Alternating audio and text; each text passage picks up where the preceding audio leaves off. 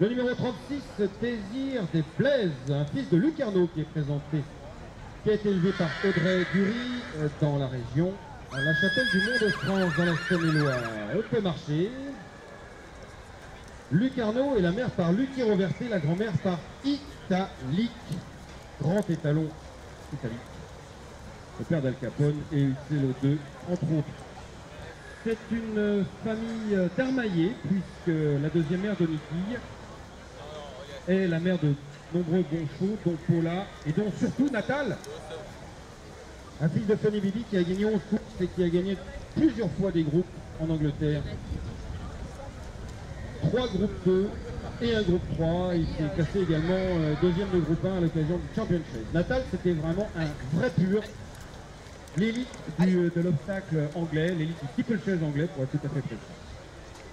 Alors donc Désir des Blaises, c'est le neveu de Natal par Luc Arnaud qui nous est présenté. Il est né tard, hein, le 3 juillet. Attention, il est né très tard le 3 juillet.